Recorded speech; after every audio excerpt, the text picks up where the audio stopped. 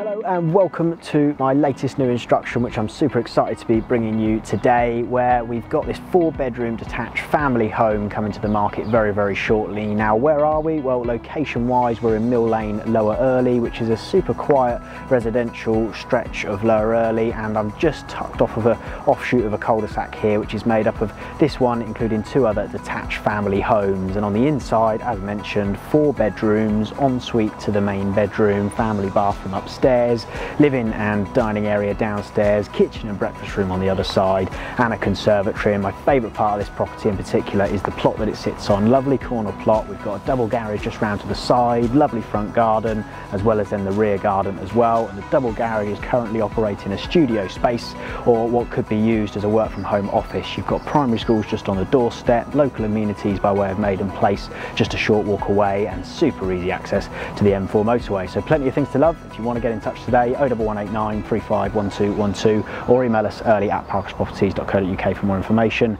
That'll be great. Thanks for watching.